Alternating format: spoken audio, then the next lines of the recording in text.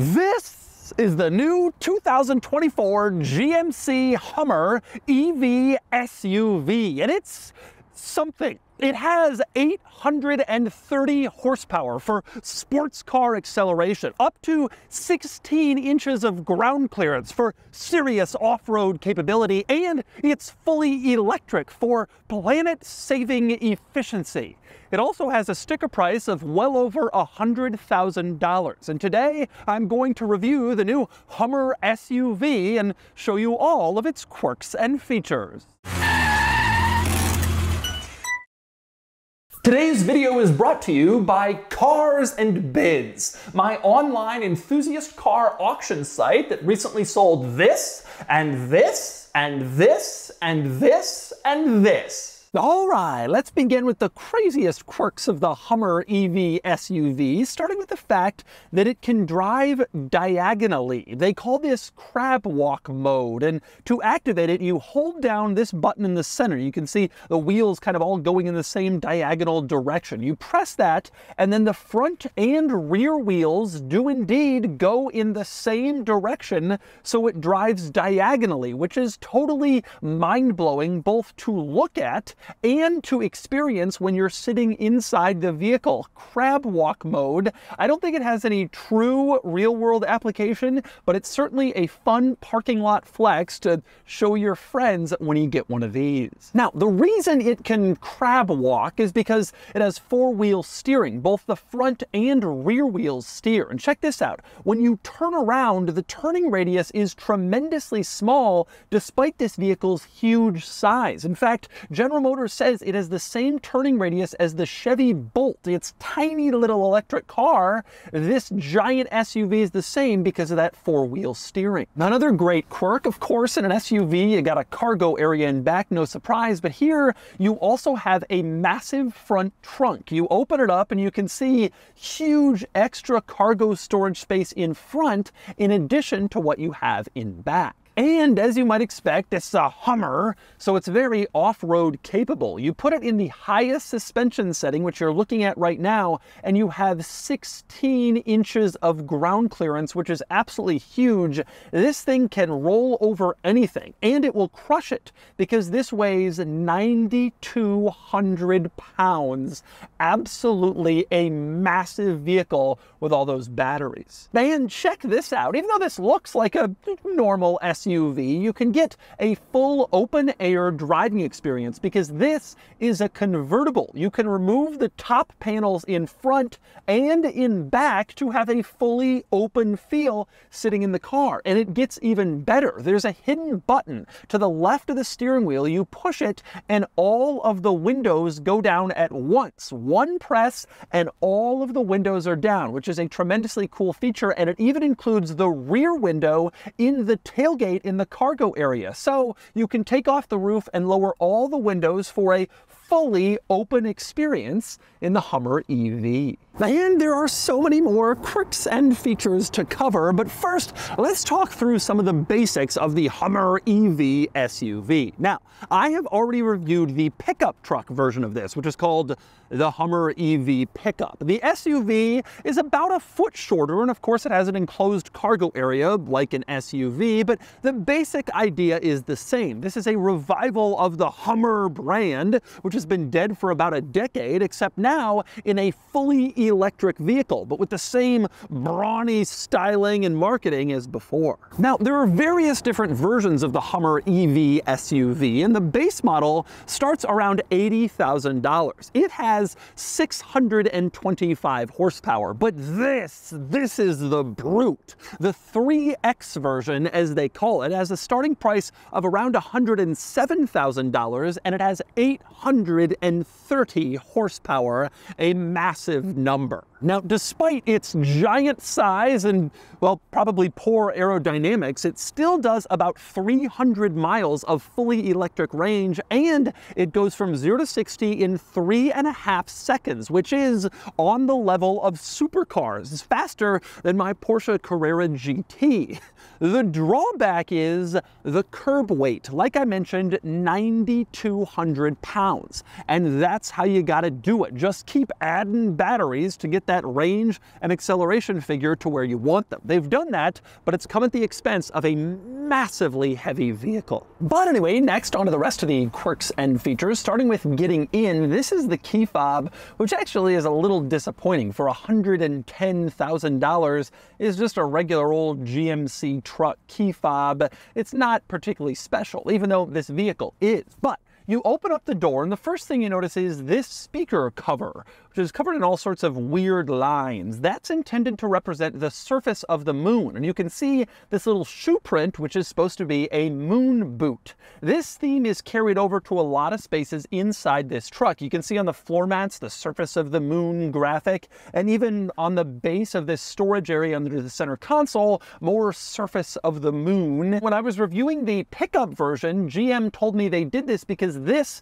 truck is their moonshot, hence all of the moon graphics, and they've carried it over into the SUV as well. Now, beyond the moon graphics, there are little hidden Easter eggs all throughout this vehicle. Like, for instance, the little image of the truck at the side of the center screen. You wouldn't really notice it, but it's there. Same deal in the corner of the windshield. You see this image of the Hummer EV just sort of tucked in there, kind of subtle. Man, how about the fact that the door sill, this graphic you can see right here, matches the front end lighting design in the vehicle. They're the same, and that lighting design is carried over to this graphic in the door sill. In fact, if you look closely, you will notice that the lights at the edges of the front end make little H logos, H for Hummer, and that is also repeated all throughout this truck in various places. Just one example is the center climate vents here in the interior. You can see they sort of form this H pattern again,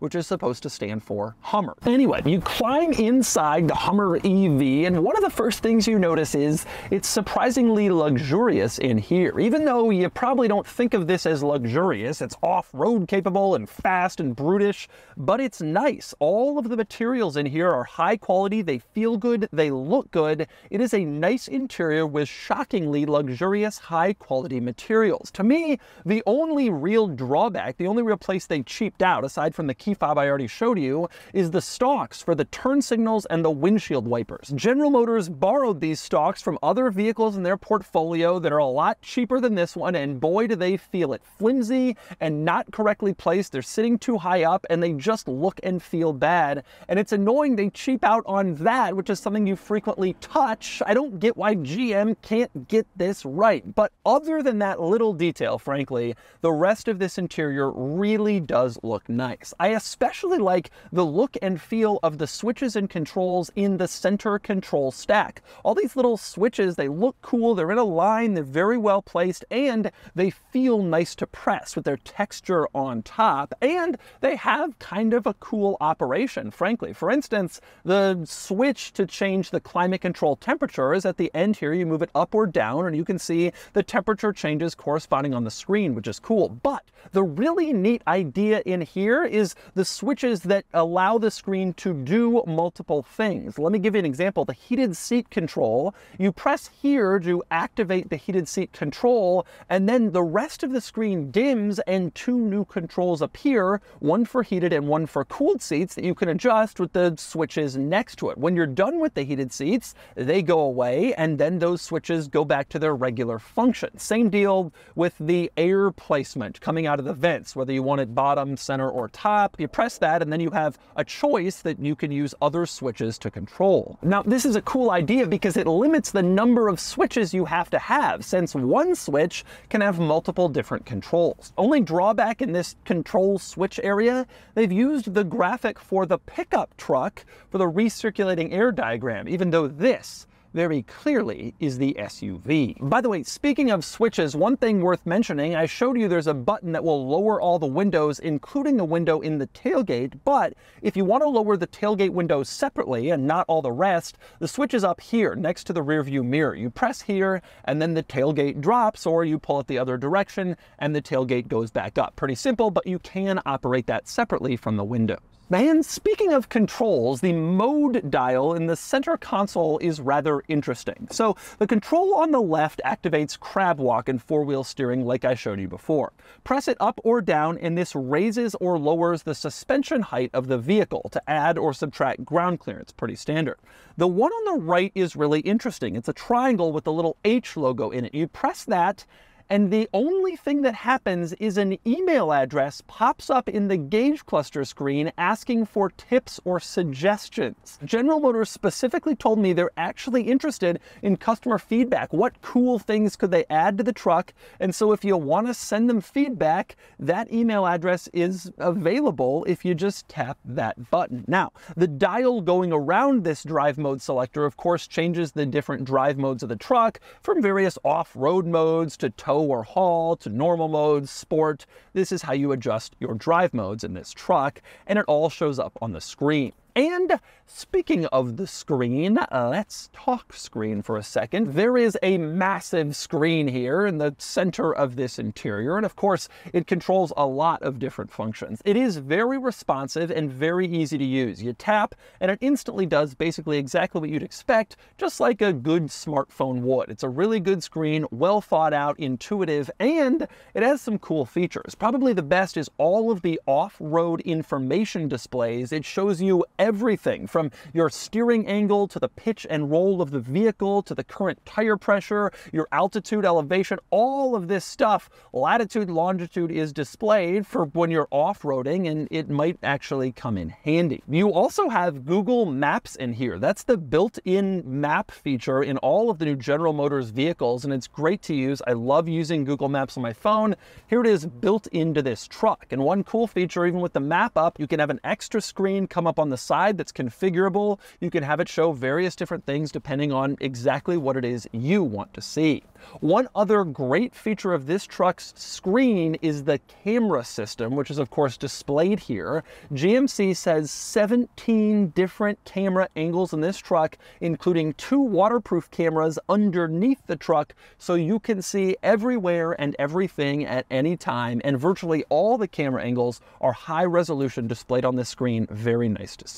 And speaking of cameras and screens, let's talk about the rear view mirror, which right now just looks like a rear view mirror until you flip this switch and then it's a camera. This is a great feature because it shows what's behind you, even if your truck is full of people and stuff you can't see out. Well, now you can because your rear view mirror is a camera. I love having that. And on the subject of screens, one more screen worth pointing out is, of course, the gauge cluster screen behind the steering wheel. This one is is only so-so, I would say. You can see all the moon graphics on it, continuing that cool theme from a lot of the other points in the car, but the drawback of this screen is, frankly, it's not really all that configurable. You can adjust what's on the left part of the screen and show a few different pre-chosen things, but not much. On the right side of the screen, you have more options. You can show music, you can show directions, your phone, that sort of thing, but even then, you can't do a full screen map in the game gauge cluster, which is disappointing, and you can't have it show like music and map at once. For a screen gauge cluster, which could be configured in many different ways, this one is surprisingly stuck in its default position. And by the way, since I'm over here in the steering wheel area, two other things to mention. Number one, this vehicle has GM's Super Cruise driver assist technology, which is hands-off driving on mapped roads. It's an excellent feature. Also worth pointing out, that button that lowers all the windows at once, that's very cool. For some reason, it doesn't raise them. so if you want to lower all the windows at once, you can do that. But when you want to put them back up, you got to pull each window switch individually and the switch for the rear window because you can't do it from that button, which frankly is, well, just not a good idea. It should lower and raise the windows. And next up we move on to the back seat in the Hummer EV, which is well, massive. This front seat is pushed really far back and I still have knee room back here. There's a ton of hip room. It's very wide and there's headroom before you get to the convertible top panels. It really is a huge front and back seat, a giant interior in this vehicle. And by the way, worth mentioning on the convertible top panels, the removal is quite easy. All you have to do is move this latch, that unlatches one side, move this latch and back, that unlatches the other, and then lift the top panel right off. That's all you do front and rear. There's no unscrewing anything or difficult stuff. You got to remove this before that, whatever. Just two latches and you can take it off and you're good to go for your open air experience. And you can remove them individually. So if just one person wants an open air experience, but nobody else does, well, you can do that if that's what you want. Anyway, other items worth pointing out in the back seat. For one, the Moon graphics theme continues back here. Again, on the speaker cover, the Moon graphics return, and on the floor, again, you can see the Moon graphics in the rubber. Back here, you also have some nice luxury touches. You have heated rear seats, which is nice to see, and climate control just for the rear passengers, in addition to climate vents, which of course adds to the comfort level back here. You also have power ports you can see USB-C and USB-A. Both of those are nice to have, but even better, you look further down and there is a household style power outlet down here where you can plug in your blender and blend while you sit in the back. And next we move on to the back of the Hummer EV SUV where you can see an absolutely massive spare tire mounted back here. This is a full-size spare tire and wheel. And if you look closely at the wheel design, you'll notice little H's in all of the spokes. And it says HEV around one part of the side of the wheel. And right in the center, you have that H logo appearing once again. A lot of little hidden things. But anyway, giant spare tire, giant spare wheel. And the result of that is that the tailgate is tremendously heavy in this vehicle. And it would be hard to open it up, especially if you're on a hill. So they automated it. You want to open up the tailgate, you just push this little button hidden here below the tail light on the driver's side, and the tailgate opens right up automatically. You don't have to lift a finger except for the one you use to push the button. Anyway, once you get into the cargo area, you will notice, well, first the moon graphics continue. The entire floor of the cargo area is this moon relief map, which is kind of cool and certainly kind of odd, but I actually like how it looks. But you will also notice some pros and cons in this cargo area. The biggest benefit is undoubtedly its shape and size. It is flat, it is wide, it is tall, and you do not suffer from a tapering teardrop-shaped roofline that robs you of tall cargo space. You got a lot of space back here. One of the big drawbacks is height to get things in.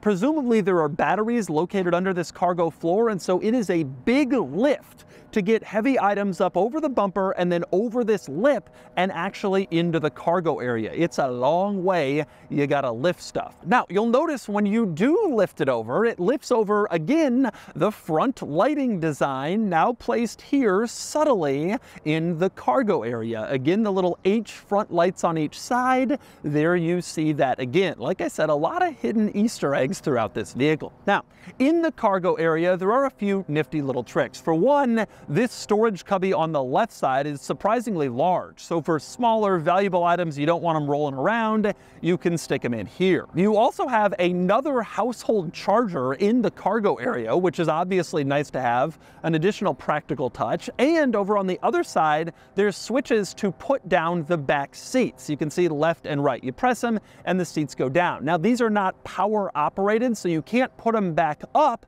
you can only put them down. If you want to put them back up, you got to go to the seat itself and lift it into place. Not too hard, but not quite as convenient. Now, one other drawback about this cargo area, there's no third row seating in this vehicle. Doesn't exist at all. It's not offered. Despite this gargantuan sized Hummer, you can't get it with a third row. Probably because the seat would have to sit so high in the cargo area above the batteries that there really wouldn't be any headroom. It's kind of a drawback and it loses some practicality to say the Rivian R1S, which does have three row seating.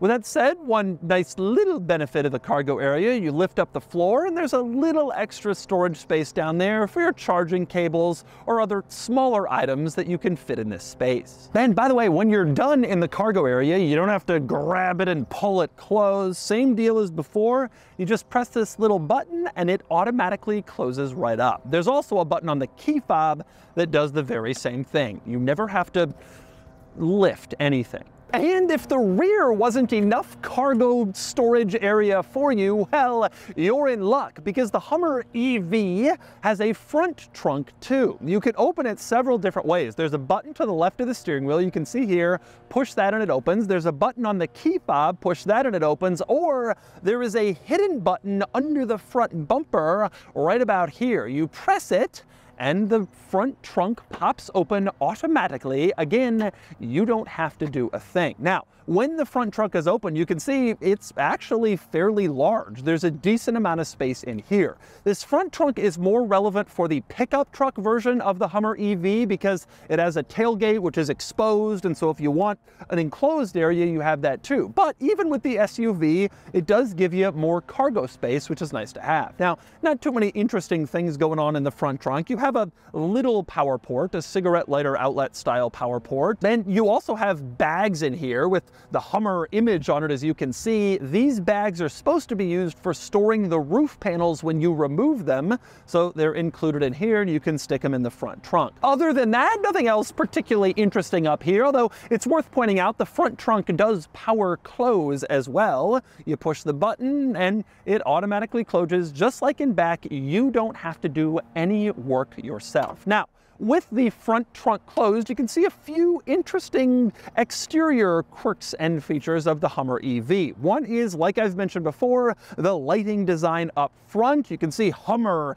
is actually illuminated in what would be the front grille. Instead, it's lighting. And at the edges, you have larger running lights that are also turn signals. And when you turn them on, they make this cool sweep across the front of the vehicle that looks nice and it's pretty distinctive and kind of exciting. Now, other interesting items up here, for one, three windshield wipers, as you can see. Because of the wide but low design of the windshield, you need three wipers to cover the whole thing. Not too common, but this has it. And it also has a GMC badge up here, although you'd be forgiven for not noticing it. It's small and placed off to the side in the corner, not front and center like every other GMC. That's because the emphasis here is on the Hummer brand, not on the GMC brand. These are sold through GMC dealers and they're technically GMCs, but people will think of them as the Hummer, not really a GMC. So the only GMC logos right here in front off to the side and one other in back. Otherwise, it's all Hummer branding. And that of course also goes for the exterior styling, which looks very brutish, very brawny, very aggressive, very Hummer this thing says, revitalizing the old school Hummer image from the original Hummer and the H2. This is supposed to look like a modern day take on that, and it certainly does. It definitely looks Hummer, and it definitely looks in your face, which I think is exactly what they were going for. There's nothing subtle about this truck except for this tiny little American flag on the side that you might not notice unless you're looking closely. But it's there and it's accurate for this vehicle. Of course, General Motors, an American manufacturer, and this vehicle is built in America in Detroit, Michigan. Anyway, all of that said, all the quirks and features, another big quirk is just driving the Hummer EV. So Let's go do it. All right, driving the Hummer EV SUV. I have wanted to drive this vehicle for quite a while actually because one of my guilty pleasure cars is the Hummer EV truck, but I'm not really a truck guy. I live in the city. I don't really have a huge need for a truck. An SUV is more my speed. I got kids. This is what I would get if I were getting a Hummer EV. Uh, so I've wanted to drive it for a while, but honestly, it's been hard to find them because production has been really, really slow. These came out maybe six months ago, seven months ago, but there are very few of them around. They're just not building in massive numbers. But I'm in it now, and I've been driving it for a couple days, and I gotta say, I just think it's cool.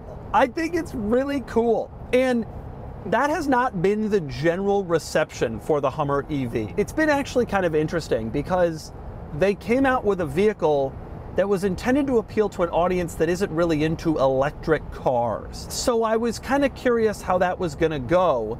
And the answer is it went predictably, not all that well. These are not selling at a huge clip and used, the values have really started to decline. But from a purely vehicle perspective, just like the sheer act of driving it and looking at it and having it, I think it's so cool. I think it looks cool. It's a little over the top brutish, but I think it looks cool. I think it drives awesome. It is so fast. Um, it can roll over anything. The interior is great. It's surprisingly comfortable in here. There's a lot to like in this vehicle. I think ultimately the problem with the Hummer EV, and I'm going to be delicate here for political reasons, is that this type of vehicle would generally appeal to conservative people who don't buy EVs. But EVs tend to appeal to liberal people who don't buy giant brutish Hummers. And as a result, this truck has not really done all that well. Uh, but as somebody who's kind of a little bit more moderate and who just likes cars for purely what they are, I think this is so cool. Now, I will say there are a few drawbacks uh, for the driving experience. The most obvious one when you're driving this vehicle is wind noise. Um, that wasn't something I made real note of in the EV pickup truck, which also has a removable roof. But there's no question that it is the removable roof that is the problem. There are four panels here on top, plus there are doors all around and windows that roll up and down. There's a lot of removable stuff in this vehicle. And so even something a little bit off, or even if it's uh, implanted how it's designed, but just, you know, the tolerances aren't perfect, you get some wind noise, especially at highway speeds like I'm going. Another issue with the truck is just its gargantuan size. You got to kind of plan, hey, can I really get past those things? Just because the car in front of me got past it doesn't mean I can. I'm driving the biggest car on the road and it's really a heavy, large vehicle, this. You also get some tire noise, and you get some tire, you feel a little bit from the tires because they're these big, rough, all-terrain tires. Um, so it doesn't quite have like a luxury car smooth ride, but it has a pretty smooth ride. It is surprising just how comfortable and nice it really is, considering that it's an all-terrain, off-road, you know, menace that can go over anything. Personally, I've driven all the electric vehicles, every single one of them, from the Rivian to the Lucid to all the Teslas to this. And I really think that the Hummer EV, above all the others, does the best job of doing it all in one vehicle. It's fast, it's luxurious, it's off road capable.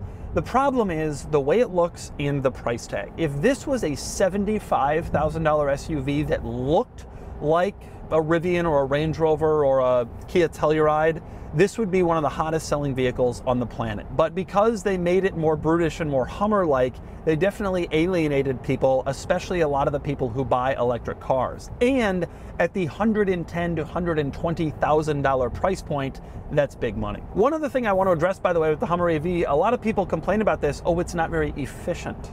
Oh, you know, it only gets 45 miles per gallon E equivalent. Um, the batteries are so big, it takes forever to charge. and It's just not an efficient EV. And I think that is one of the stupidest criticisms. I mean, yeah, that's true, but when you think about what else is in this segment for gas powered cars, my Toyota Sequoia is smaller than this. It has half the horsepower of this, and yet it gets 12 miles per gallon. This doubles the power, increases the size, and still manages to be an electric car. Of course, it is not as efficient as a Tesla or a Fiat 500 electric or Lucid Air, all those vehicles, but when you think about the kinds of vehicles that this would be competing against as a gas car, it actually is a pretty impressively efficient car. The miles per gallon equivalent numbers are like 50 mpge, which is better than a Toyota Corolla. And I'm driving around in a brutish block-shaped Hummer that can do 0 to 60 in three and a half seconds. And so from that perspective, it is pretty good. Frankly, this is just a great all-around vehicle if you can put up with the styling, the heft, the size, the weight, and a little bit of lack of refinement from wind noise and tire noise. And so that's the new GMC Hummer EV SUV, a massive beastly brute that combines aggressive Hummer styling with environmentally friendly electric vehicle efficiency, with supercar-like acceleration, with off-road capability, with convertible driving experience, and a luxury interior and great technology. It really can do it all, except fit in a garage. And now it's time to give the Hummer EV SUV a Doug score. And the Doug score is here, 72 out of 100, which puts the Hummer EV SUV here against rivals. Actually, pretty high up, closing in on some of my favorite EVs like the Rivian R1S. But the Hummer EV SUV won't sell. And the problem really is that it's a car for nobody. EV people don't want a vehicle that looks like this, and people who want a vehicle that looks like this don't want an EV. Personally, I think it's incredibly cool, and it does it all. It's fast, it's capable off road, it's high tech, it's planet saving electric, and it's even a convertible. But buyers seem to prefer the more traditional R1S and the Tesla Model X, and frankly, I'm not surprised. Too bad, because the Hummer EV SUV really is a good car.